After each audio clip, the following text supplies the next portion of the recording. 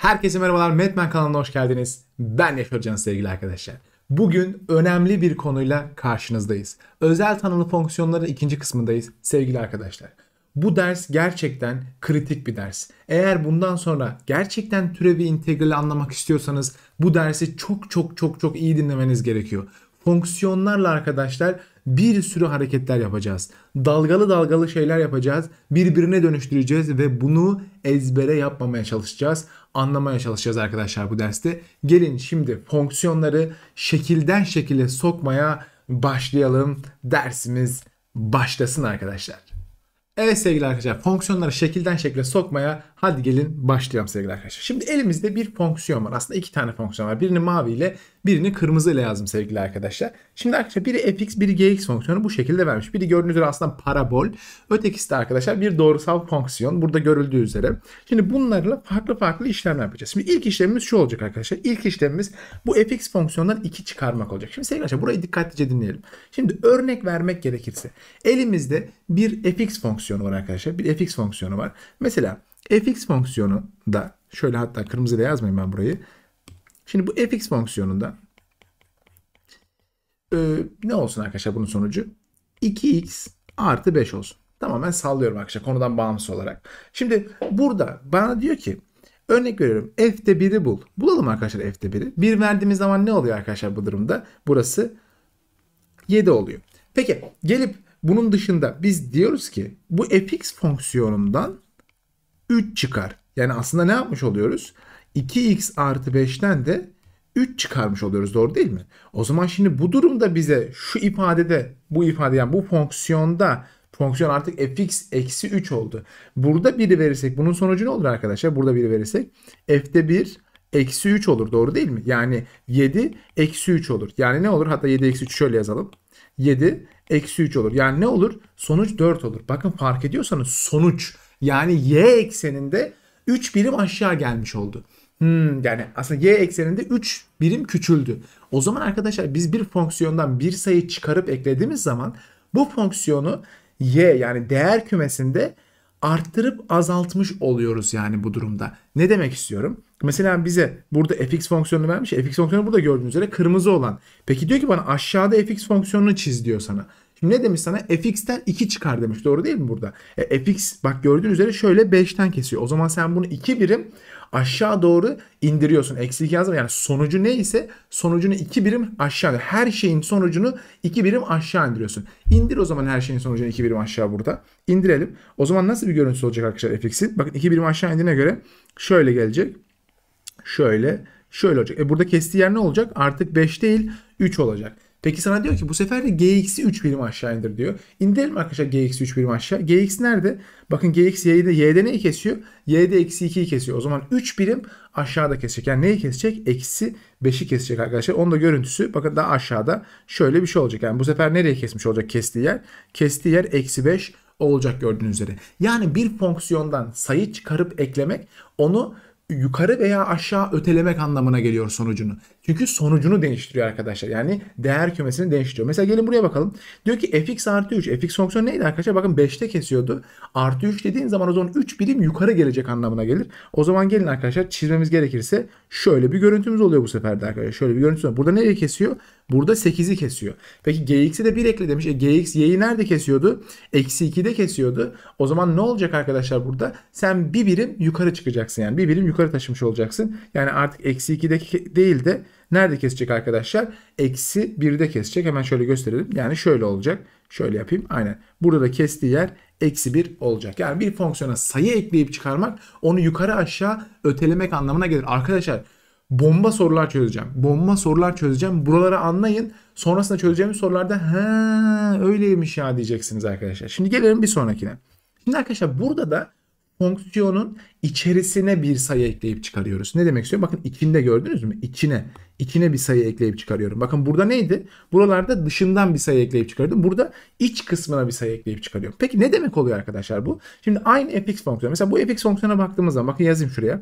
Burada f'de eksi 2'nin sonucu neymiş? Bakın x eksenini kestiği yer. Bakın ne? 0. F'de eksi 1'in sonucu neymiş? 0. burada f'te 3'ün sonucu neymiş? 0. Çünkü neden arkadaşlar? Eksi 2'ye 0, eksi 1'e 0 ve 3'e 0 noktasından geçiyor. Peki arkadaşlar şimdi bakın aynı mantığı burada uygulayacağım.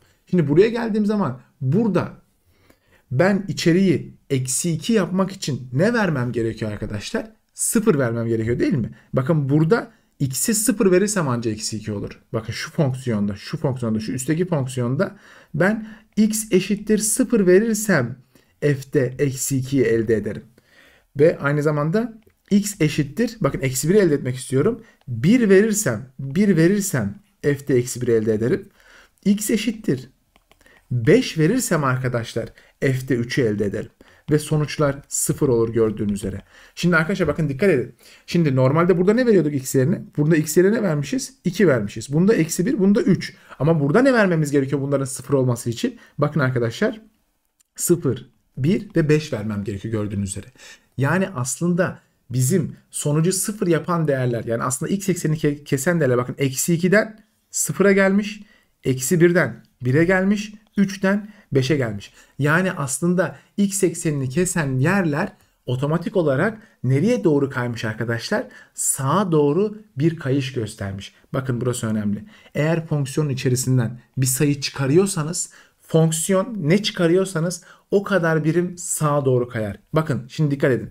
0 kestiği noktalardan biri. Sonra kestiği nokta ne olacak? Sıfırdan sonra 1 sonra da 5. 5 de burası olsun. Yani şu fonksiyon şöyle olmuş oluyor artık. Şöyle bir fonksiyon olmuş oluyor. Aynı fonksiyon bu şekilde oluyor. Bakın 0, 1 ve 5. Ne oldu? Bak bak 2 birim yana kaydı. 2 birim sağa kaydı. 2 birim sağa kaydı gördüğünüz üzere. Yani arkadaşlar burası oldukça kritik diyeyim sizlere. Yani mantığı anlamanız açısından çok çok çok önemli arkadaşlar buradaki kısımlar. Şimdi gelelim burada. Yani arkadaşlar çıkarıyorsan bakın eksi yapıyorsan artı tarafa doğru kayıyor. Şimdi bak artı yapıyorsan eksi tarafa koyacak. Şimdi bak dikkat et. Şimdi bunun sonucunu sıfır çıkarmam çıkarıyor değil mi? Mesela eksi 2. Biliyorum ki f'de eksi 2 sıfır. Peki ben x yerine ne vermem gerekiyor f'de eksi 2 sıfır için? Şu fonksiyonda. Bu fonksiyonda x yerine eksi 2 gelmesi için ne vereceğim? Eksi 3 vereceğim. Doğru değil mi? Eksi 3 verirsem f'de eksi 2 olur bu fonksiyonda. 0 olur. Şu fonksiyonda x yerine eksi 3 verirsem. Bu fonksiyonda x yerine ne verirsem sonuç eksi 1 olur. E, eksi 2 verirsem sonuç f'de eksi 1 olur. O zaman 0 olur. Devam edelim. Bu fonksiyonda aynı zamanda sonucu 3 getirmek için ne vereceğim? 2 vereceğim. O zaman f'te 3 olur. Sonuç 0 olur. Bakın fark ediyorsanız, fark ediyorsanız şöyle buradan geniş göstereyim. Bakın arkadaşlar normalde burada eksi 2 veriyordum. Burada eksi 3 verdim. Eksi 1 veriyordum. Burada eksi 2 verdim. Burada 3 veriyordum. Burada 2 verdim. Yani ne oldu? Gördüğünüz üzere artık 0 yapan değerler, bu fonksiyonu 0 yapan değerler. Yani bu fonksiyonun kökleri bir birim sola kaydı. Bakın sola ya eksiye doğru kaydı gördüğünüz Çünkü neden? Sen buraya bir eklediğin zaman bu sefer artı bir ekledin ya bir birim sola kayar. Çünkü aynı değerleri verenler bu sefer bir birim soldakiler olmuş olur arkadaşlar. Bu oldukça kritik. Burayı en azından söylemiş olayım arkadaşlar. Şunu sileyim. Şimdi bakın bunu çizeceğiz. O zaman ne olacak artık kesen yerler? Bakın şöyle şuraya şey yapıyorum. Eksi 3 eksi 3 eksi 2 ve 2 oldu şurada da. O zaman nasıl arkadaşlar? Şöyle geldi, şöyle döndü, böyle gitti. Yeni fonksiyonumuz bu. Yani fark ediyorsanız aslında ne oldu arkadaşlar? Şurada eksi 2 çıkardığınız zaman ikinci fonksiyonda bakın arkadaşlar 2 birim 2 birim sağa kaydı. Sağa kaydı. Bakın eksi olduğu zaman artının olduğu tarafa sağa kayıyor. Burada da şöyle bir birim bir birim sola kaydı. Bakın arkadaşlar artı olduğu zaman bu sefer de sola doğru bir kayış gösteriyor. Yani mantık bu. Aynı değerleri bir solundaki iki sağındaki çıkarmış oluyor. Bunu tek tek size kanıtlamış oldum arkadaşlar. Burada zaten fonksiyon aynı fonksiyon. Hepsi fx fonksiyonu olduğu için. Şimdi devam edelim. Bunlarla ilgili sorular çözeceğiz arkadaşlar bir sürü. Şimdi hemen konuşmaya devam edelim. Diyor ki fonksiyonu bir sayıyla çarpma. Şimdi sen arkadaşlar fonksiyonu bir sayıyla çarptığın zaman ki biz bunu aslında fonksiyonda 4 işlemde de gördük. Mesela sonuç örnek tamamen örnek için konuşuyorum arkadaşlar. Mesela fx fonksiyonu 2x artı 5 olsun. Yine örneğimizi verelim. Mesela. Şimdi ben buraya f'te 1 verirsem sonuç ne olur arkadaşlar? 1 verirsem. Ne oldu sonuç? Ee, burası 2, 1, 7. Peki ben 3 fx fonksiyonunun da 3 fx fonksiyonu ne olur arkadaşlar? 3 çarpı 2x artı 5 olur. Doğru değil mi? E burada ben f'te 1 verirsem ne olur arkadaşlar bunun sonucunda? f'te 1 verirsem ne olur? 1 koy 7 21 olur. Yani bakın f'te 1'in sonucu 7 iken 21 olmuş. Sevgili arkadaşlar eğer bir fonksiyonu bir sayıyla çarparsanız o fonksiyonun değerleri değerleri kaçla çarpıyorsan o kadar artar veya azalır. Yani ama burası önemli bir şey arkadaşlar. Önemli bir şey söyleyeceğim. Bu fonksiyonların her ikisinin de köküne bakalım. Kökü, çözüm kümesi. Yani x'i sıfır yapan değerlere bakalım. Şimdi bakın arkadaşlar ilk fonksiyon için. ilk fonksiyon şu değil mi? Bu fonksiyonumuz ne? 2x artı 5'i sıfır yapan değere bakıyoruz. Ne yapıyoruz? Bakın 5'i karşıya attık.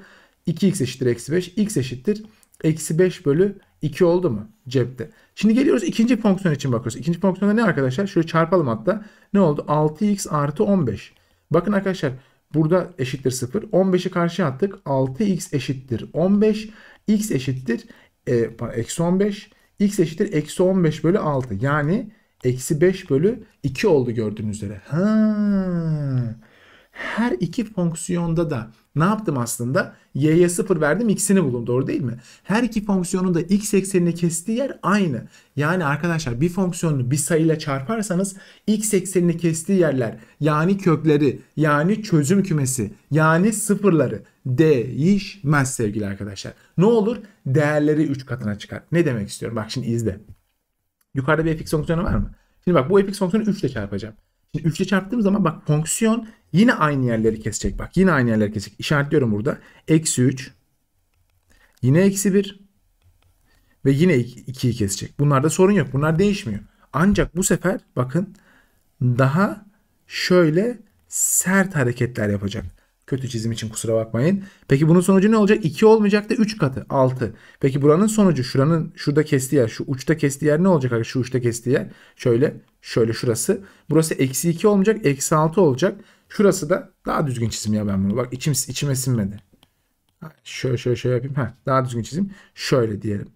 Böyle gelip böyle gidip şöyle gelecek. Heh, burası ne olacak? Şurası 6. Şurası ne olacak? Burası eksi 6. Peki burada kestiği yer ne olacak? Neydi bak burada kestiği yer neymiş? Bakın gösterelim. Eksi 1'miş. O zaman burada ne olacak arkadaşlar? Kestiği yer 3 katı eksi 3 olacak şurada kestiği yerde. Yani gördüğünüz üzere fonksiyonun x ekseninde kestiği yerler değişmedi. Çünkü kökü değişmiyor bir sayıyla çarpınca.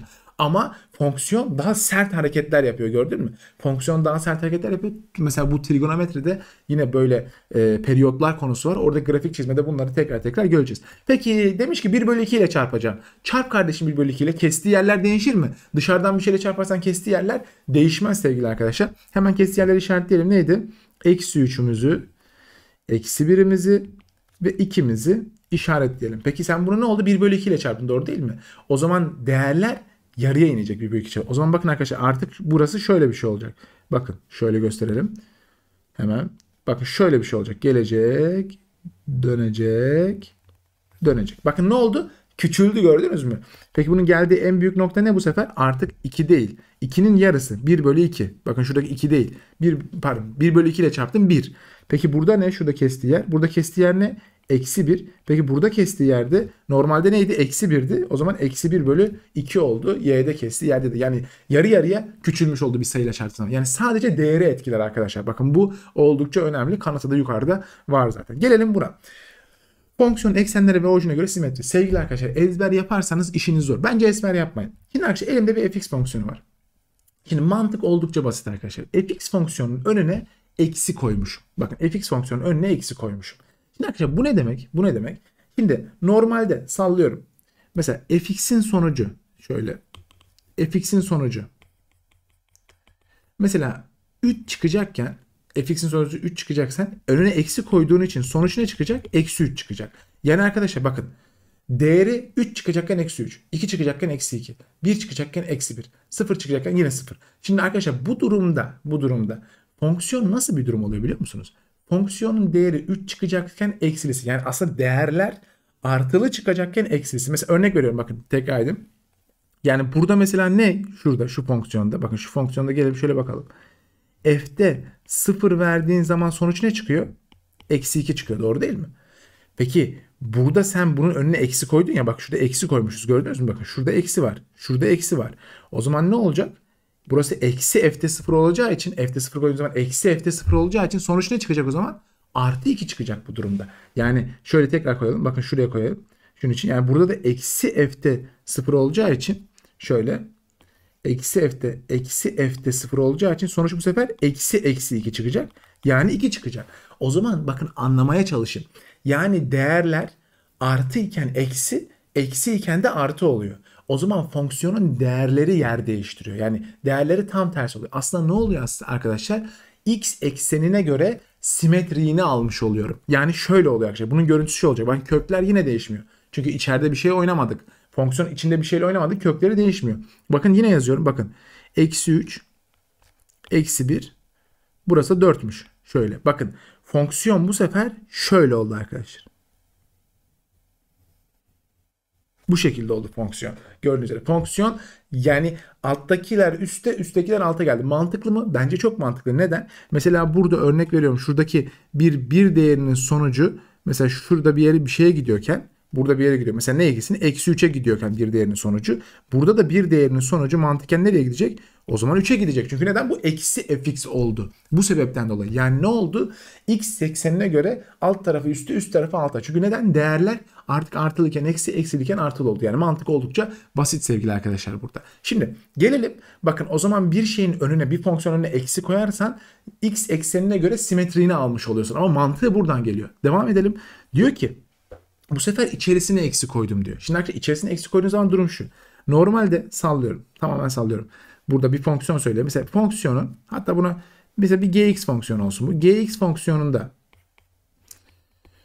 mesela gx fonksiyonu bir de g'de eksi x fonksiyonu olsun. Şimdi bak dikkatli izleyin arkadaşlar burada. Burada 2 verdiğim zaman çıkan sonuç mesela 5 ise burada da x yerine burada x yerine 2 verdiğim çıkan sonuç 5 ise burada da x'te eksi 2 verdiğim zaman ne olacak eksi 2 verdiğim zaman yine g'de 2 olacak. Sonuç 5 olacak gördüğünüz üzere. Yani arkadaşlar durum şu. Yani burada normalde 5 verirken çıkar sonuç artık eksi 5 verince çıkacak. Veya 3 verirken çıkan sonuç x yerine artık eksi 3 verince çıkacak. Yani o zaman arkadaşlar fonksiyon ne olmuş oluyor? Fonksiyonda artık mesela burada fx fonksiyonuna baktığımız zaman bakın şurada fx fonksiyonuna baktığımız zaman bu fx fonksiyonunda f'te bakın nereleri kesiyor? Bakın nereleri kesiyor? Şöyle gösterelim hemen. Burada kestiği yerler. Bakın eksi 3, eksi 1 ve 4'ü kesiyor. Doğru değil mi? Gelin şuraya yazalım arkadaşlar. Buraya yazdığımızda ne oluyor? Hemen şöyle gelelim. Mesela bu fonksiyonda normalde fx fonksiyonunda şurası şöyle kalsın. Burası ayrıca bir kısım. fx fonksiyonunda f'te eksi 3 verdiği zaman ne oluyor? 0 oluyor. f'te eksi 1 verdiği zaman ne oluyor? 0 oluyor. f'te eksi 4 verdiği zaman ne oluyor? 0 oluyor. Bu ne fonksiyonunda? Bu fx fonksiyonu için geçerli. Bakın yukarıda çizdiğim fx fonksiyonu için geçerli. Peki ben buna artık fx değil de f'te eksi x fonksiyonu için sonucu 0 getirmeye çalışacağım. O zaman x yerine ne vermem? Eksi x fonksiyonu ya arkadaşlar. Eksi x fonksiyonu. Bakın burada x yerine ne vermişim? Şunları göstereyim arkadaşlar. x yerine eksi 3 vermişim. x yerine eksi 1 vermişim. Burada da x yerine eksi 4 vermişim. Peki burada ne vermem gerekiyor? Bakın burada x yerine 3 verirsem. Bakın x yerine 3 verirsem ben burada f'de 3'ü elde ediyorum gördüğünüz üzere. 0, f'de eksi 3'ü elde ediyorum pardon. f'de eksi 3'ü elde ediyorum. 0 oluyor. Burada x'e ne vermem gerekiyor? Bakın eksi 1 elde etmek için x'e 1 verirsem f'de e, eksi 1 elde ediyorum 0. Burada da x'e burada da ne verirsek e, burası 4 bu arada. Şurada hata olmasın. Şurası 4. Aynen. Burada da x'e gelip eksi 4 verirsem f'de eksi 4'ü elde ediyorum. Ve sonuç 0 oluyor. Burası eksi 4 değil pardon. Şurası şuraya hata yapmayayım arkadaşlar. Burası 4. Şurası da 4. Ha. Burası 4. Burası eksi 4 verirsem eksi eksi x olduğu için burası da 4 oluyor bakın 0. O zaman ne oldu? Yani bu fonksiyonda artık değerleri artılı vermem gerekirken eksili veriyorum. Yani aslında bakın bak bunlar bunların tam neyi? Bak bunlar bunların tam gördüğünüz üzere eksilesi gördünüz mü? Yani artık o zaman fonksiyonda x'lerin yerleri değişti. Yani fonksiyon ne oldu arkadaşlar? Bakın fonksiyonda bakın normalde nerede kesiyordu? Eksi 3, eksi 1 ve 4'te kesiyordu. Şimdi 3, 1 ve eksi 4'te kesiyor. Bakın çizelim buraya 3, 1 ve eksi 4'ü. Bakın şurası 1, şurası 3, şurası da şöyle eksi 4. Bakın arkadaşlar bunu çiziyorum. Şöyle oluyor tam olarak. Böyle geliyor. Şöyle gidiyor. Pardon. Şöyle geliyor. Şöyle gidiyor. Böyle gidiyor gördüğünüz üzere. Yani fonksiyon ne oldu arkadaşlar? Artılar artı x değerleri eksilere, eksi x değerleri artılara geçti. Yani fonksiyonun y eksenine göre sağ ve soldan simetriğini almış oldum bu durumda. Bakın yukarıdaki iki fonksiyona bakın. İlk fonksiyon ve son fonksiyona bakın. İlk fonksiyon bu. Bakın eksi 3 eksi 1 4. Burada tam tersi bak. 3 1 eksi 4 gördüğünüz üzere. Fonksiyonun y eksenine göre simetri alındı. Yani ne demek istiyorum? Eğer bir fonksiyonun içerisine içerisine eksiyle çarparsan fonksiyonun bu sefer y eksenine göre simetrini alırsın. Şuraya yazalım arkadaşlar. Fonksiyonun bu ne demek aslında şurası? Bu bu kısım şöyle kırmızıyla yazın. Hatta şöyle maviyle yazın. X eksenine göre simetri. X eksenine göre simetri diye alındı. Ne zaman? Eksi fx olursa. Peki burada ne oldu? Burada da y eksenine göre simetri alındı. Bunda nereye yazalım? Şuraya yazalım. Y eksenine göre simetri alındı. Göre simetri alındı. Simetriyi alındı. Gördüğünüz üzere arkadaşlar. Burada da ne oldu? Ee, bu ne demek yani? Ne, ne zaman alınır? F'te eksi x olunca alınır. Peki hem önünde eksi var hem içinde eksi var arkadaşlar. O zaman da fonksiyonun orijine göre simetri alınır. Orijine göre simetri alınır sevgili arkadaşlar. Yani fonksiyon tam çaprazda orijinde yer değiştirir. Yani önce bakın mesela bunun üst taraftakinde ne var? Üst tarafında y'ye göre simetri alın değil mi? Yani y'ye göre bir kere simetrini alacağım. Şimdi bakın üst taraftakini y'ye göre simetri alınmış hali ya. Bir de bunun x'e göre bir daha simetri alacağım. Bakın aynı şey şöyle görünecek. Bakın şöyle maviyle yapmayayım. Kırmızı yapayım yine. Şöyle eksi 4 yine burada. 1 burada. 3 burada. Ama bakın bu sefer de x eksenine göre simetrini alacağım bunu. Bakın şöyle. Şöyle. Şöyle. Zaten yukarıdaki y eksenine göre simetri alınmıştı ya. Bir de ben altları üste, üstleri alta taşırsam x eksenine göre simetrini almış olurum. Gördüğünüz üzere aslında bir fonksiyonda eğer bir fonksiyonda şu şekilde varsa yani eksi şöyle gösterelim. Eksi f'te eksi x'te hem x'i hem y'ye göre simetrini alıyorum. Yani fonksiyon demek burada orijine göre orijine göre simetrini al demek arkadaşlar. Buradaki ifade orijine göre simetriyi alındı diyelim. Bunda da orijine göre simetri alınmış oluyor bu durumda. Sevgili arkadaşlar devam edelim. Bir fonksiyonun mutlak değerle ilişkisini konuşalım arkadaşlar. Mutlak değerle ilişkisi şu. Şimdi bakın fonksiyon arkadaşlar dışarıdan mutlak değer aldığımız zaman mesela sonucu sallıyorum. Bakın burada şöyle şu zoom yapayım şöyle buraya. Sonucu mesela şurada bir sayıda ne çıkıyor?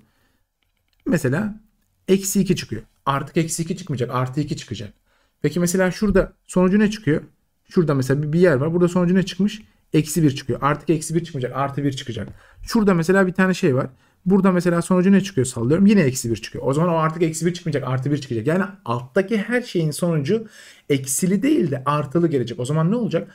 Alttaki fonksiyonun tüm y eksenin altında yani değeri hiçbir zaman negatif çıkamayacak fonksiyonun. Ve değeri negatif çıkanlar yani y eksenin altında eşleşenlerin hepsi aynısının yukarısına taşınacak. Yani fonksiyonun altta kalan kısımları yukarı taşınacak. Bakın nasıl olacak bu iş? Gelin göstereyim arkadaşlar size. Yine bakın işaretleyelim. 3'ü, eksi 1 ve 4'ü. Gelin işaretleyelim burada da. 3, eksi 3, eksi 1 ve 4'ü işaretleyelim. Bakın arkadaşlar fonksiyon şu şekilde olacak. Bakın maviyle çiziyorum bu sefer. Bakın üstte kalan kısımları yine üstte kalıyor. Bunlarda sorun yok. Üste kalan kısımlar şuralar. Bakın altta kalan kısımlar üst tarafa geliyor. Çünkü artık şöyle bakın ne oluyor? Şu tarafa doğru geliyor aynısı. Bakın böyle oluyor. Bu da şu şekilde gidiyor. Fonksiyon bu oluyor arkadaşlar. Peki hocam bunun burada kestiği yer ne? Burada kestiği yer neydi? Şurada kestiği yer eksi 1 değil mi? Şurada kestiği yer. Şurada kestiği yer eksi 1. O zaman bunun da burada kestiği yer eksi 1 olacak gördüğünüz üzere. Yani burada aynısının aldığı değerlerde bu sefer pardon, artı 1 olacak özür dilerim. Artı 1 olacak. Yani alt taraf üst tarafa yani aldığı değerlerin aşağıda aldığı değerlerin hepsinin üstte alması gerekiyor. O zaman fonksiyon direkt yukarı doğru katlanmış oluyor. Dışarıdan mutlak değer koyarsan. E peki hocam içeriden mutlak değer koyarsam ne olur? Arkadaşlar bu oldukça önemli. Şimdi bakın. Şimdi siz x yerine 3 de verseniz sonuç yani 3 de verseniz ne olacak? F'de şöyle mutlak değerde 3 olduğu için F'de 3'ü soracağız. X yerine eksi 3 de verseniz mutlak değer içerisinde eksi 3 olduğu için yine aslında F'de şöyle mutlak değer içerisinde F'de 3'ü konuşacağız. Yani arkadaşlar durum şu. Fark ettiniz mi bilmiyorum. Abi 1 de versen aynı, eksi 1 de versen aynı. 2 de versen aynı, eksi 2 de versen aynı. 3 versen aynı, eksi 3 de versen aynı. Şimdi bak fonksiyon neydi? Fonksiyon bu değil mi? Şimdi fonksiyonda durum şu. Fonksiyonda y'nin y'nin artı tarafında kalan değerler neyse eksi tarafında kalanların değerleri de aynısı olacak. O zaman arkadaşlar bakın bir fonksiyonun içerisindeki x'in mutlak değeri bu şekilde alınırsa o zaman fonksiyonun otomatik olarak şu kısmı var ya bu kısmı iptal olur arkadaşlar fonksiyon. Çünkü neden? Zaten sonuç sorun şu. Sen mesela eksi 1 verdin ya. Eksi 1 aslında artı 1'in değeri gelecek anladın mı? Çünkü mutlak değer koydun ya. Eksi 1 verdin eksi yerine. Aslında artı 1'i arıyorsun. Yani veya eksi 3 verdin aslında artı 3'ü arıyorsun. Yani aslında fonksiyon o tarafı hiç yok.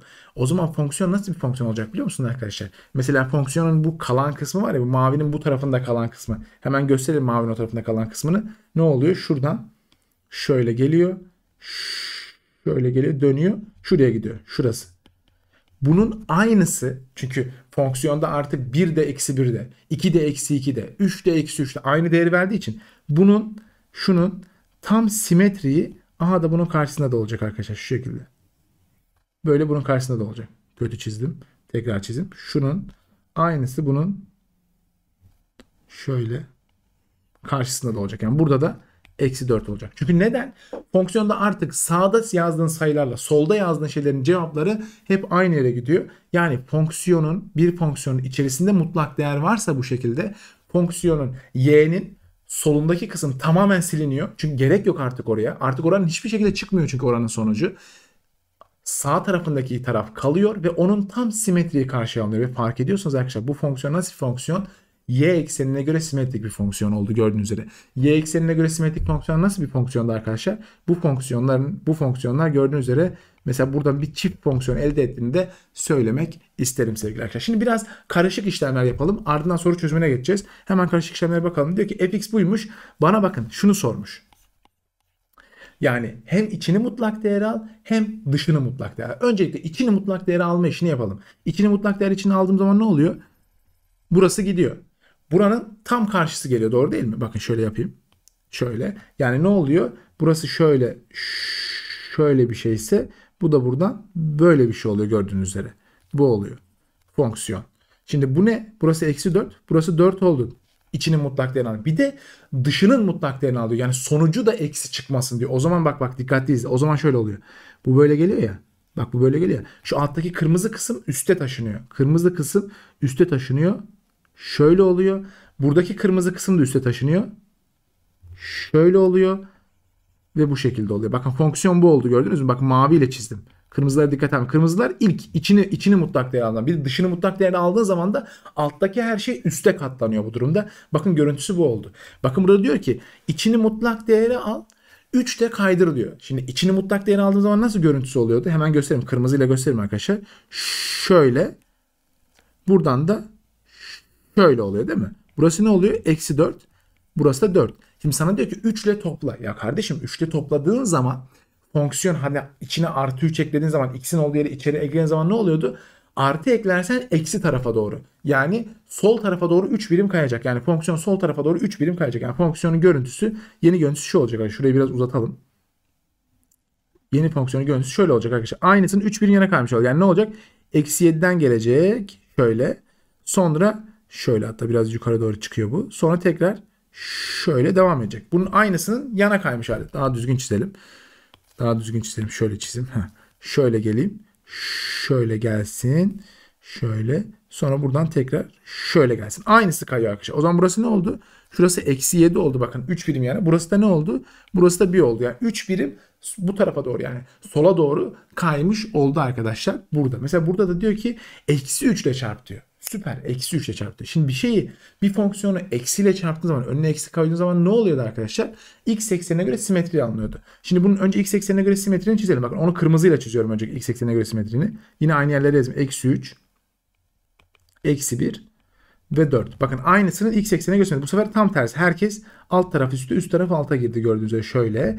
Peki bir de diyor ki bunu bunu 3 ile çarp diyor. Abi 3 ile çarpmak bunu x ekseninde kestiği yerler değişmez ama buna daha sert Bak şöyle, şöyle, şöyle. Daha sert hareketler yaptırır buna. Yani daha da uzar yani. Ama x ekseninde kestiği yerler bir fonksiyonu bir şeye çarpınca değişmiyordu sevgili arkadaşlar. Buradan da bunu anlamış olduk. Şimdi gelin bomba gibi etkili matematikten çok iyi sorular çözeceğim arkadaşlar size. Pekiştirmek için mükemmel olacak. Burayı iyi öğrenmeniz önemli.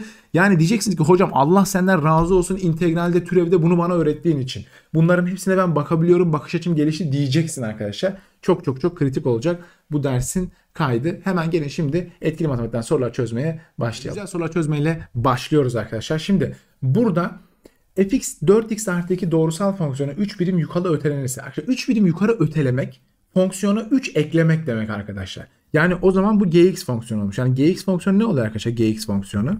Gx fonksiyonu 4x artı 5 oluyor.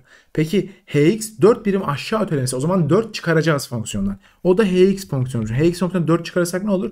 4x eksi 2 olur arkadaşlar. Diyor ki gx ve fx fonksiyonu kaç noktada kesişir? Sevgili arkadaşlar iki fonksiyonun bakın şurada gördüğünüz değerler var ya bakın buradaki.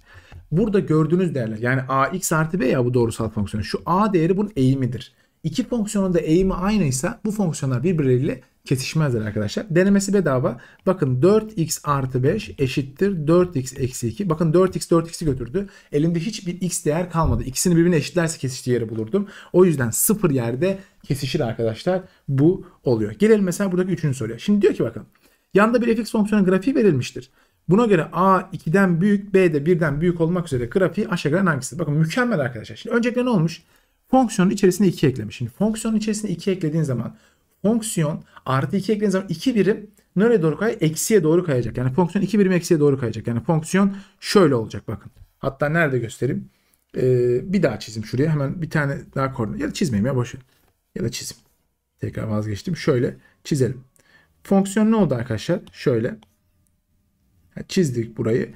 Fonksiyon 2 birim şöyle yana kaydı. Bakın şöyle oldu. 2 birim şöyle kaydı. Gördüğünüz üzere. Burası.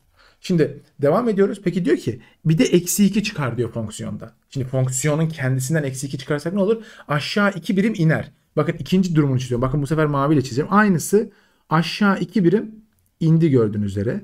Şöyle oldu gördüğünüz üzere. Şimdi diyor ki bunu bir de mutlak değer için al. E, mutlak değer için alırsak bu sefer siyahla çizeceğim. Alt kısım üst kısma gelir. Bakın burası böyle kalır. Alt kısım üst kısma gelir. Şöyle, şöyle. Şöyle gösterelim aynen böyle. Burası da şöyle olur gördüğünüz üzere. Bu şekilde bir şey olur. E nerede var arkadaşlar bu şık? Bakın bu şık gördüğünüz üzere Adana şıkkında var. Ne yaptım? Adım adım. Önce fonksiyon içerisine 2 ekledim. 2 eklemek 2 birim sola götürmek. Fonksiyonun kendisinden 2 çıkardım. 2 birim aşağı indirmek demek. Bir de fonksiyonu mutlak değerini aldım. Alttakiler üst tarafa geldi. Bakın mavinin altta kalan kısmı üstteki siyaha taşınmış oldu. Cevabı buldum. Şahane soru arkadaşlar. Devam ediyoruz. Dördüncü soru Ceyhan. Şimdi Dördüncü soruya bakıyoruz arkadaşlar. x eksi 3 ve x3 apsin noktalarda yerel ekstremum değerleri bulunan y eşittir fx polinomların fonksiyonu şekilde gibi tanımlıdır diyor. Buna göre hangileri doğrudur demiş. fx fonksiyonu 2 birim aşağı ötelenirse fx eşittir 0 denkleminin 3 farklı kökü olur. Şimdi arkadaşlar mantıklı düşünelim. 2 birim aşağı ötelenirse 2 birim aşağı inecek. Yani her şey 2 birim aşağı inecek. Yani 2 birim aşağı inerse ne olur arkadaşlar? Yani mesela örnek veriyoruz. Yani şöyle bir görüntü olduğunu düşünün arkadaşlar. Şöyle bir görüntü olduğunu düşünün. Çok da önemli değil ama fark ediyorsanız fonksiyonun yine kestiği nokta sayısı 3 olacak. Çünkü bakın buradaki 5 var ya. Sen bunu 5 aşağı indirirsen fonksiyon aşağıda kalır böyle. Yani sen onu 2 birim aşağı indirirsen yine kestiği nokta sayısı aynı olur yani değişmez. O yüzden burada 5 var ya sen 5'i 2 birim aşağı indirdiğin zaman da yine 3 noktada kesecek. Yani bu fonksiyon altında kalmıyor. Bak fonksiyon aşağı inmiyor. X eksenin altında kalmıyor. Fonksiyonun kökü 3 farklı kökü demiş ki he hocam kökü ne demekti? Kökü ne demekti? Kökü x eksenini kestiği yer demekti. X eksenini kestiği yer kaç tane var? 1, 2, 3 tane var. E sen bunu 2 birim aşağı indirdiğin zaman yine 3 tane var. Sorun yok. O yüzden 3 tane vardır. Doğru. 7 birim aşağı ötelenirse fx eşittir 0 denkleminin kökü yoktur. Şimdi arkadaşlar bakın burası önemli. Şimdi 7 birim aşağı ötelenirsek bakın bu ne kadar yüksekte şu an? 5 birim yüksek değil mi? Sen bunu 7 birim aşağı doğru indirirsen bu fonksiyon 7 birim aşağıda şöyle bir şey olur. Ama bakın bu fonksiyon burası buraya doğru gidiyor. Bu da ne oluyor? Bakın bu da yukarı doğru gidiyor. Yine x eksenini kestiği bir tane yer olur sevgili arkadaşlar. X eksenini kesti yine de bir tane yer olur. Yani kökü yoktur demiş. Nine yanlış. Yanlış arkadaşlar. Yine ki kestiği bir tane yer olacak. Sen bunu 7 birim aşağı indirsen de bir ucu yukarı doğru gidiyor çünkü. Devam edelim. fx fonksiyonu 5 birim yukarı ötelenirse 5 birim yukarı ötelenirse fx eşittir 0 denkleminin iki farklı Arkadaşlar 5 birim yukarı ötelenirse bakın şurası eksi 5 ya. Bu eksi 5 5 birim yukarı ötelenmiş olacak. Yani şöyle bir görüntüsü olacak buranın. Bakın şöyle şu bakın 5 birim yukarı ötelecek ya. Bakın burası 5 birim yukarı kalkmış olacak. Bakın burada değecek. Bir de Şuradan aşağı indiği zaman bir de burası değecek. Bakın şurası 5 birim yukarı. Bakın burası 5 birim yukarı çıktı. Burada bir kere değiyor. Burada artık şu uç değmiyor bakın gördüğünüz gibi. O yukarıda kalmış. O zaman iki farklı kökü vardır diyor. Vallahi de doğru. Billahi de doğru cevap arkadaşlar. 1 ve 3 oluyor cevabımız. Devam edelim hemen. Bir sonraki sete geçelim. Bir sonraki sete bakalım. Şimdi diyor ki fx örten bir fonksiyondur. Okey. Yukarıdaki fonksiyonların hangisinin görüntü kümesi yine 2'ye 5'tir. Şimdi arkadaşlar görüntü kümesi yine 2'ye 5 ise bunun görüntü kümesi ne? Bakın görüntü kümesi. Bakın şurada 5'e. Bakın burada da 2. Şimdi arkadaşlar bu fonksiyonun görüntü kümesinin yer değiştirmemesi için fonksiyon sağa sola kayabilir ama yukarı aşağı kayamaz. Şimdi yani fonksiyonun içerisine bir şey ekleyebiliriz. Fonksiyonun içerisine bir şey mesela fonksiyonu bir sayıyla da çarpamayız. Fonksiyonu bir sayıyla çarptığın zaman görüntü kümesi iki katına çıkıyordu yani değer yani iki katına çıkıyordu. O zaman 2x olmaz. Bakın bir sayı ekleyemem. Bir sayı ekleyemem. Bir sayı çıkaramam ama içerisine eklememde sorun yok veya çıkarmamda. Sen bundan 4 çıkar zaman ne olacak? 4 birim artıya doğru kayacak. Ama bak kendi o değer kısmını kaçırma. Aynısının bakın bunun aynısının aynı aralıkta bakın şu aralıkta hareket edecek. Şu bu sefer de şöyle bir şey olacak anladın mı? Ama yine aralığı 2 ile 5 aralığında olmuş olacak bu durumda. O yüzden bu değişmemiş oluyor sevgili arkadaşlar. Bence şahane. Mük bir soru arkadaşlar. Mük bir soruyla karşı karşıya. Gelelim diğer soruya. Diyor ki y eşittir fx e, ax artı b fonksiyonu grafiği y ekseninin ordinatı eksi 9 noktasında kesmektedir. Ordinatı eksi 9 noktasında kesmektedir. Şimdi arkadaşlar şöyle düşünün. Bir fonksiyonun y eksenini yani ordinatı kestiği nokta o fonksiyonun sabit terimidir. Yani nedir arkadaşlar? X yerine 0 verdiğin zaman gelen değerdir. Bu ax artı b fonksiyonu değil mi? X yerine 0 ver ne gelir? B gelir. Yani o zaman b direkt arkadaşlar eksi 9. Yani buradaki fx fonksiyonu bakın hızlı çözmek adına diyorum. Yani fx fonksiyonu şöyle bir fonksiyon. fx eşittir ax eksi 9 fonksiyonu. Okey. Diyor ki fx fonksiyonu 3 birim sağa ötelendiği zaman orijinden geçmektedir. Bak laflara bak. Bak laflara bak laflara. 3 birim sağa ötelendiği zaman diyor. 3 birim sağa ötelendiği zaman diyor. Bak mantıklı düşünelim. Şimdi bak burada bir tane koordinat sistemi çizeyim şuraya. Şimdi bakın arkadaşlar sen bunu 3 birim sağa ötelediğin zaman şey, şeyi kesiyorsa, orijini kesiyorsa kendisi o zaman normalde neyi kesiyor? Normalde eksi 3 kesiyor. Burada şöyle de olabilir. Hatta öyle zaten. Şöyle pardon. Ha, şu şekilde çünkü. Çünkü neden? Burada eksi 9'u kesecek. Normalde burada da bence eksi 3'ü kesiyor. Çünkü sen 3 birim sağa götürdüğün zaman bu orijini kessin bu şekilde. Anca böyle olabilir. 3 birim bak 3 birim sağa götürdüğün zaman ne olur? X eksenini kestiği yer değişir gördüğünüz üzere. O zaman bu fonksiyonun kökü diğer kökü, kökü de neymiş? Eksi 3'müş. Kökü nasıl buluruz arkadaşlar? Kökü de y'ye 0 verdiğimiz zaman değeri buluruz. Yani kökünü bir fonksiyonu bakın y eşittir ax eksi 9. Şimdi bu nedir kökü? Şurası ne noktası? Eksi 3'e 0 noktası. Yani y'ye gelip 0 vereceksin. X'e de gelip eksi 3 vereceksin. Buradan da a'yı bulacağız. Doğru değil mi? Gelin bulalım. 0 eşittir. Eksi 3a eksi 9. Gördüğünüz üzere. At bunu bu tarafa. a buradan ne oldu? a buradan e, karşıya attığımız zaman şöyle yapalım. Ha. a buradan 3 geldi. Doğru değil mi?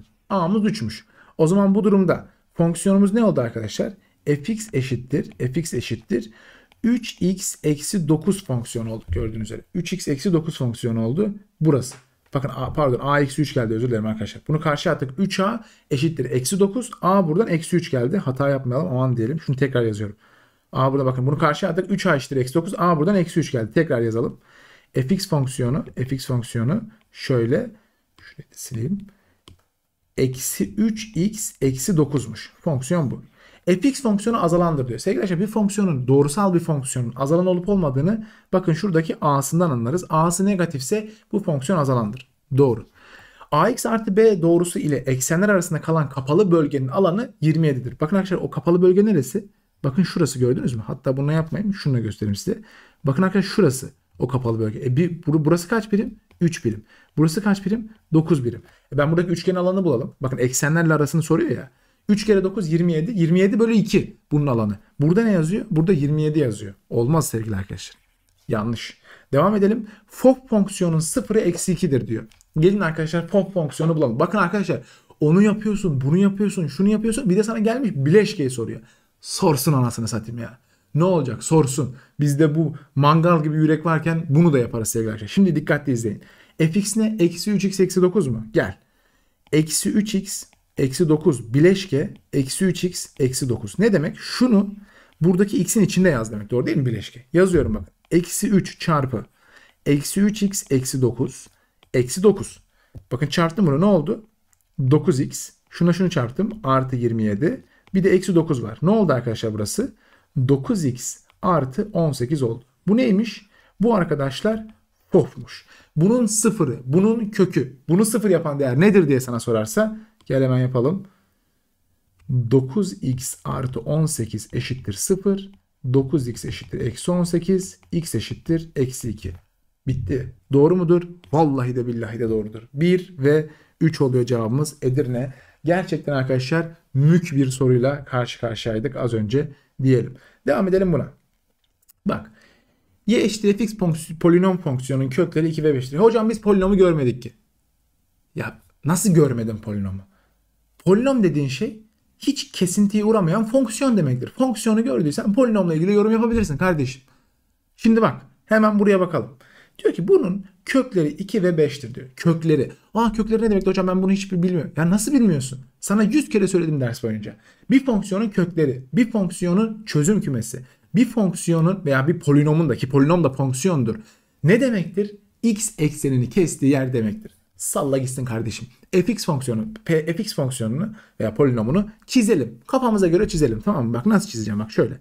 Koordinat sistemini çizdim kardeşim şöyle. Burada neye işaretleyeceğim? 2 ve 5'i işaretliyorum. Bakın 2 ve 5. Tamamen sallıyorum. Şöyle bir şey olsun. Böyle bir şey olsun fx fonksiyonu. 2 ve 5. Şöyle. Bu fx fonksiyonu. E hocam öyle mi? Ben dedim öyle. De ben dedim öyle. Şimdi gelin bakalım. Diyor ki kökleri 2 ve 5'miş. Diyor ki f'te x artı 2 fonksiyonun kökleri 4 ve 7'dir. Şimdi arkadaşlar bir fonksiyonun içerisine, fonksiyon iç kısmına 2 eklersen, yani bir şey eklersen artı bir şey eklersen eksiye doğru, eksi bir şey eklersen artıya doğru kayıyordu. Şimdi sen burada fx artı 2 gx fonksiyonumuş ya. O zaman ne olacak? 2 birim burada sola doğru gidecek. Bak 2 birim sola doğru giderse bakın bu 2 nereye geliyor? 0'a. Bu 5 nereye geliyor? 3'e geliyor. Yani artık fonksiyon ne oldu? Fonksiyon şu oldu. Bak maviyle gösteriyorum. Bu ne? fx artı 2 fonksiyon oldu. Şu fonksiyon. E bunun kökleri 4 ve 7 mi? 9, 9, 4 ve 7 değil. O zaman yanlış. Geliyoruz buna. F'te x eksi 3 fonksiyonun kökleri 5 ve 7'dir. Şimdi x eksi 3 fonksiyonu içerisinden 3 çıkardıysan artık ancak 3 fazlasını yazarsan aynı değeri verir. Dersin başında anlattım. O zaman bu ne demek? 3 birim artıya doğru gidecek demek. Bak 3 birim artıya doğru götürüyorum. Yani burası artık ne oldu? Şöyle bunu siyahla çizim. 2 iken 5'i 2 kesecek artık. 5 iken de şöyle uzatalım şunu. Bu sefer de 8'i kesecek. O zaman fonksiyon şu oldu bak. Fonksiyon bu. Bu ne? f x eksi 3 fonksiyonu. Bu da bol. E bunun kökleri 5 ve 8 mi? Vallahi de doğru billahi de doğru. Diyor ki 3 ile çarp. Kardeşim bir fonksiyonu 3 ile çarparsan, 5 ile çarparsan, eksi ile çarparsan fark etmez. Fonksiyonun x eksenini kestiği noktalar değişmez. Dersin başında anlattım. Fonksiyonun sadece değer kümesi 3 katına çıkar. Ama x eksenini kestiği yerler kökleri değişmez. O zaman kökleri 2 ve 5'ti. Hala 2 ve 5. Vallahi bu da doğru. O yüzden cevabımız 2 ve 3 oluyor sevgili arkadaşlar burada da. Gelelim ben bir sonraki soruya. Vallahi mükemmel mükemmel sorular var arkadaşlar. Bunları sizlere çözmek istiyorum. Evet buraya bakalım. Diyor ki bla bla bla vermiş hangileri doğrudur diyor. Üçüncü dereceden bir fx fonksiyonunun fx polinomunun grafiği. Hocam üçüncü dereceden ne demek? Kardeşim x eksenini kestiği yer 3 yer var demek. X eksenini kestiği 3 yer var mı? Vallahi de 3 yer var. O zaman bu 3 tane kestiği yer var. 3 tane kökü var bunun. Üçüncü dereceden bir fonksiyon. Şimdi diyor ki f'te eksi x'in kökleri. Şimdi fonksiyonun içerisine eksiyle içerisine eksi alırsan ne olurdu? Fonksiyonun artık mesela 2 verildiğin değer eksi 2 vermen eksi 2 veya eksi 3 3 olurdu. 3 eksi 3 olur. Yani değerlerin yerleri değişirdi. O zaman ne olurdu? Yani fonksiyonun y eksenine göre sağı sola solu sağa taşınırdı. Yani artık burada 8 yerine bu tarafta eksi 8'i kesecek. Burada 4 yerine burada eksi 4'ü kesecek. Burada 2 yerine burada da artı 2'yi kesecek. Yani y eksenine göre simetri alınıyor arkadaşlar bunun. Şimdi e, evet eksi 8, eksi 4 ve 2'dir. Vallahi de doğru. Fonksiyonun dışına mutlak değer koymuş. Ya koysun kardeşim bize koyar mı? Bize koymaz ama. Neden koymaz? Çünkü fonksiyon dışına mutlak değer koymak fonksiyonun altta kalan kısmını kısımlarını üste taşımak anlamına geliyor. Bakın bu maviyle çizdiğim yer fonksiyonu. Alt taraf üste çıktı. E bunun kökleri eksi 8, eksi 4, eksi 2. Ne alaka abi? Kökleri değişti mi? Eksi 2, 4 ve 8. Fonksiyon önüne eksi koydum. Fonksiyonun önüne eksi koyduysan fonksiyonun değerleri birbirinin tam tersi olmaya başlar. Mesela 3 yazınca normalde 5 çıkıyorsa artık 3 yazınca eksi 5 çıkmaya başlar. Yani değer kümesi. Alttakiler üstte, üsttekiler alta. Tam takla atar. Taklayı da attıralım arkadaşlar kırmızıyla. Bakın ne olur? Burası böyle gelir. Şurası şöyle gelir. Burası böyle olur. Burası da böyle olur. Bakın kestiği yerler yine değişmiyor gördüğünüz üzere. Eksi 8, eksi 4, eksi 2 olur. 9, 9, 9 kardeşim. Cevabımız Adana olur burada. Bunda yanlış yani kökü değişmez yani önüne eksi gelirse çünkü x eksenine göre simetri almış oluyor bu durumda. Evet gelelim hemen bir sonrakine. Bir sonraki burası. Diyor ki fx e, eşittir x bölü 2 artı 4 fonksiyonu y eşittir x eksenine göre simetri gx fonksiyonudur diye vermiş arkadaşlar burada. Şimdi Buna bu, bu grafiğe göre fx ve gx fonksiyonlar ve eksenler arasında kalan kapalı bölgenin alanı nedir demiş arkadaşlar. Burayı vermiş. Şimdi bir fonksiyonun y eşittir x eksenine göre simetriği nedir? Hocam ben bilmiyorum ya y eşittir x eksenine göre simetriğini bana kimse öğretmedi ya şimdiye kadar. Nasıl öğretmedim ya? Aç bakayım önceki videoları. Ben sana söyledim. Bir fonksiyonun tersi ne demektir? Bir fonksiyonun tersi y'si ile x'inin yer değiştirmesi demektir. Bir fonksiyonun y'si ile x'i yer değiştiriyorsa y eşittir x eksenine göre simetri alınıyordur. Yani bir fonksiyonun tersi o fonksiyonun y eşittir x eksenine göre simetriye alınmış hali demektir. Yani sana buradaki fx fonksiyonun y eşittir x eksenine göre simetrini söylüyorsa fx fonksiyonun tersini al diyordur. Gel alalım. Bak alıyorum. y eşittir x bölü 2 artı 4. Yazdım bunu buraya. Bak. Şimdi 4'ü bu tarafa attım ne oldu? y eksi 4 eşittir x bölü 2 oldu. Amacım x'i yalnız bırakmak ya. Geldi buraya 2 ile çarptım. 2y eksi 8 eşittir x oldu. Şimdi ben ne yapıyordum? y gördüğüm yere x yazıyordum. x gördüğüm yere de fx'in tersi yazıyordum. Bu neymiş aynı zamanda? Bu zaten gx'in kendisiymiş. O zaman gx'i buldum. gx ne arkadaşlar? 2x eksi 8 fonksiyonu. Şimdi bunların kestikleri yerlere bulalım. Önceki fx'in kestiği yer. fx şöyle şuraya biraz zoom yapayım arkadaşlar. Şöyle zoom yapayım. fx'in şurada kestiği yer. Burada kestiği yer. Nedir arkadaşlar? Sabit terimidir. 4. Peki fx'in şurada kestiği yer köküdür. Kökünü bulalım arkadaşlar. Bakın hemen kökünü bulalım. x bölü 2 artı 4 eşittir 0. At bunu bu tarafa. x bölü 2 pardon 2 eşittir eksi 4 çarp x buradan eksi 8. Bakın eksi 8 geldi gördüğünüz üzere. Kökü yani 0 yapan değer. O zaman burada eksi 8'i keser. Aynısını gx fonksiyonu için yapalım. gx fonksiyonu burada neyi keser? gx fonksiyonu ne? 2x eksi 8 mi bu arada? 2x eksi 8 evet. 2x o zaman burada neyi keser şurada? Şurada eksi 8'i keser. Burada eksi 8'i keser. Peki burada neyi keser? Şurada neyi keser? Burada da e, neyi keser? Burada da bakalım bunu sıfır yapan değer 2x eksi 8'i sıfır yapan değer at bunu bu tarafa 2x eşittir 8 x eşittir 4. 4'ü keser burada da. Burada da 4'ü keser.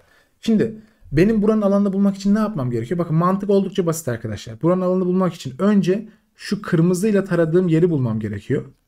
Sonra şu maviyle bulduğum yeri çıkarmam gerekiyor bundan. Mantık bu.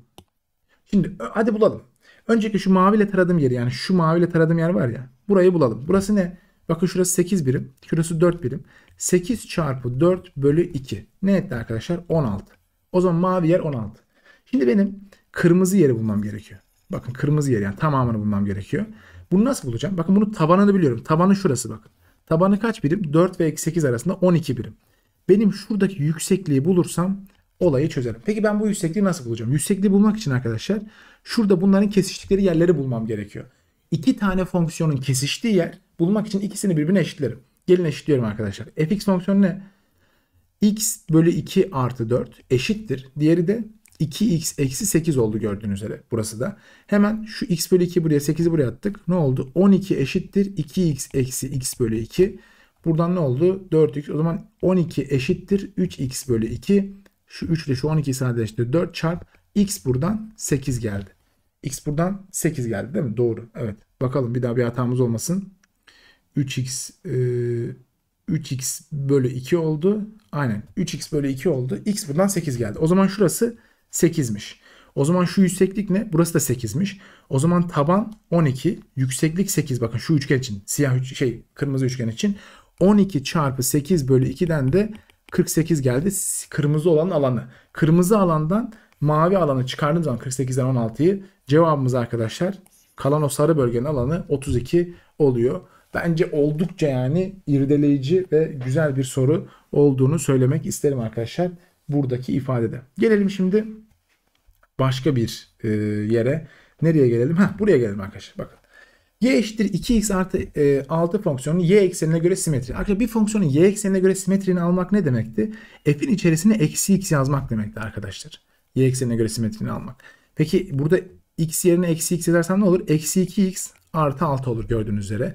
O zaman eksi 2x artı 6 y eksenine göre simetridir. Bir fonksiyonun x eksenine göre simetrini almak eksi fx koymaktır. Sen bunu gelip önüne eksi koyarsan ne olur? Eksi 2x eksi 6 olur. Vallahi bu da doğru. Bir fonksiyonun orijine göre simetrini almak eksi f'te eksi x'ti. Yani hem içine eksi x yazacaksın ki içine eksi x yazdığın zaman bu geliyor. Şu geliyor.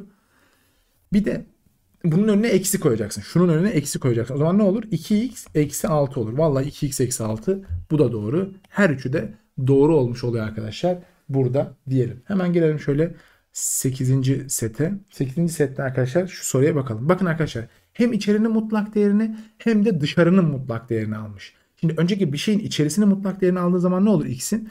X'in içine mutlak değerini aldığı zaman şu y'de kalan bu kısım gider. O kısım yok olur. Buranın aynısının simetriği gelir. Aynısının simetriği gelir. Şöyle çizelim. Sonra dışarıdan mutlak değerini aldığı zaman altta kalan yerler üste çıkar. Bakın burası böyle. Bakın burası üste çıktı. Şöyle. Sonra burası da üste çıktı. Böyle. Sonra burası da böyle çıktı. Böyle. Diyor ki kaç tane ekstrem noktası vardır? Bakın 1. Döndüğü nokta. 2. Pardon bir de şurası var. Burası da dönüyor. Bakın burası tam ta tepe yani. Döndüğü nokta. Ekstrem noktası gidip döndükleri noktalar yani. 2. Şurası yani. Şurası. 3. Burası. Şurası. Burası yani. 4. Şöyle yani şurası. Burası da 5. Yani arkadaşlar ekstrem noktaları şunlar. 1. Şurada döndüğü nokta 2. Döndüğü nokta 3. 4. 5. 5 tane ekstrem nokta. Yani tepe veya çukur noktası 5 tane var sevgili arkadaşlar. Burayı karıştırmayın. Yani bu bunun görüntüsü yani şu anlamda çiziyorum yani bunları. O yüzden 5 tane vardır. Bence şahane bir soru olmuş arkadaşlar. Buradaki soruda öğretme anlamında. Gelelim hemen bir başka soruya. Burada diyor ki 5. soruda fx fonksiyonuna göre fx'in içine böyle mutlak değer koyduğum zaman diyor ki hangileri doğrudur diyor. Şimdi arkadaşlar içine mutlak değer koyduğum zaman ne oluyor? Bir kere şurası şurası gidiyor. Burası yok artık. Bunun aynısının aynısının karşılığı arkadaşlar aynısının karşılığı ne oldu? Evet aynısının karşılığı şeyde çıkıyor. Burada çıkıyor. Çıkartalım hemen şöyle. Burada yani şunun aynısı karşısında oluyor. Şu şekilde gördük. 2 ve eksi 2 yerel ekstremum noktaları diyor. Bakın arkadaşlar şurası ne oldu? Şurası da eksi 2 de oldu değil mi? Burası da eksi 2 de. Aynısını yapacağız ya. 2 yerel, yerel maksimum nokta. Evet bunlar tepe noktaları doğru. 0 yerel minimum noktası. Bakın 0 yerel minimum oldu. Altta gelen noktası oldu. Doğru. Eksi 2 ile 0 aralığında, eksi 2 ile 0 aralığında azalandır. Bakın arkadaşlar azalan oldu gerçekten. O yüzden bu da doğru. 1, 2, 3 doğru. Ne yaptım? İçine mutlak değer zaman y'nin sol tarafını sildim. Sağ tarafının aynısını sola da yaptım arkadaşlar. Cevabı bu şekilde bulmuş oldum. Gelelim arkadaşlar diğer bir setimize. Diğer bir setimize. Şöyle. Bu sette de e, hangi soruyu seçmişim sizler için? Şunu seçmişim. Evet. Diyor ki buna göre e, y eşittir fx fonksiyonuna göre aşağıdan hangisi doğrudur? Eksi f eksi f eksi 3 fx fonksiyonu y eksenini eksi 2'de keser diyor. Şimdi arkadaşlar ne olacak? Eksi 3'e çarptığın zaman bunun değerleri tam eksi 3'e çarpılacak. Bakın x eksenini kestiği yerler değişmiyor ama eksi yani ne oluyordu fonksiyon arkadaşlar? Eksi 3'e çarpmak ne demek? Bir kere bir şeyi eksiyle çarpmak fonksiyonu zaten x eksenindeki simetrini almak. Bir de 3 ile çarptın. O zaman ne oluyor? Yani şöyle bir şey oluyor yani. Şöyle gelecek ama daha da sert böyle hareketler yapacak yani. Şu hareketleri daha da sert yapacak. Şöyle daha da sert dönüşler yapacak yani burada. Şunu da şöyle göstereyim. Ha, bu hareketleri yapacak yani.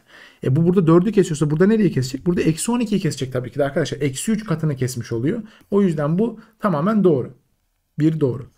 Eksi 2 ile çarptığı zaman x eksenini eksi 12, 6 ve 14. Hayır arkadaşlar bir fonksiyonu bir sayıyla çarparsan x ekseninde kestiği yerler değişmez arkadaşlar. O yüzden bu yanlış oluyor bu durumda. Eksi x fonksiyonunun x eksenini arkadaşlar bir fonksiyonu eksi koyarsan iç kısmına y'ye göre simetrini alırsın. Yani burada 7'yi kesiyorsa artık eksi 7'yi, 3'ü kesiyorsa artık eksi 3'ü, 6'yı kesiyorsa artık eksi 6'yı kesiyorsa 6'yı keser. Bu da doğru. Cevabımız arkadaşlar bu durumda 1 ve 3 oluyor buradaki durumda sevgili arkadaşlar. Son olarak bu soruya da bakalım ardından bitireceğim. Yani amacım size bolca bolca soru tipi göstermek oldu arkadaşlar bu videoda. Y eşittir fx fonksiyonu yerel mak maksimum noktası AB'dir diyor. Tamam şurası. Buna göre fonksiyonun yerel maksimum noktası. Şimdi arkadaşlar bakalım. Şimdi ne olmuş? Fonksiyon içerisine A eklemiş değil mi? Fonksiyon içerisine A eklersen ne olur? Fonksiyon A birim eksiye doğru kayar. Doğru değil mi? Diğer tarafta. O zaman ne oldu? Fonksiyonun burası a birim buraya doğru kaydığı zaman bu neye geldi? Buraya geldi. Bakın şuraya geldi. Burası. Devam ediyorum. Bir de buna b eklemiş. E, b eklersen ne olur arkadaşlar? b'deydi.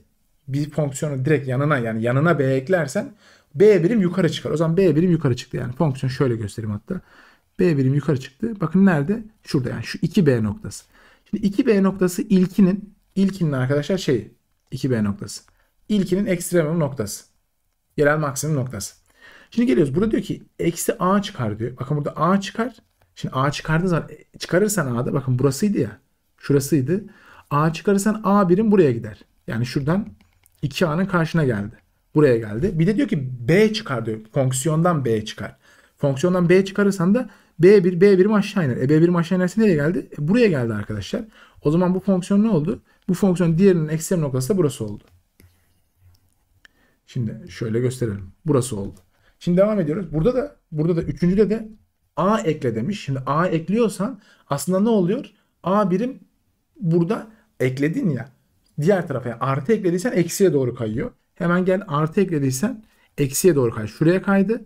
Bir de diyor ki B birim çıkar. E, B birim çıkarırsan e, orijine geldi bu. Şuraya geldi yani. O zaman diğeri de buradaymış gördüğünüz üzere. O zaman hemen şunu da silelim şöyle. Peki diyor ki bu üçü arasında bulunan diyor ABCD olan diyor köşe kabul eden üçgen alanı 40'mış. Şimdi bu üçgeni çizelim arkadaşlar. Bu üçgen ne üçgeni? Bakın şu üçgen değil mi? Şöyle. Bu üçgen. Bu üçgenin buranın uzunluğu ne? 2B. Buranın uzunluğu 2A. 2B çarpı 2A bölü 2'den 2 çarpı B çarpı A'nın 40 olduğunu 2'ye böldüğüm zaman B çarpı A'nın da 20 olduğunu buluyorum. Bana neyi soruyor? A çarpı B'yi soruyor. Cevabımız 20 oluyor. Şahane bir soru sevgili arkadaşlar. Arkadaşlar ufkunuzu açmak için elimden geleni yaptım. Hakikaten çok kritikti. Bu dersin kaymağını bir ay sonra integral görürken müthiş bir şekilde yiyeceksiniz veya türev görürken veya trigonometrini görürken de denklemlerini görürken yine çok çok fazla bunun kaymağını yiyeceksiniz diyebilirim. Kendinize iyi bakın. Görüşmek üzere. Bir sonraki derse bomba gibi hazırlanın sevgili arkadaşlar.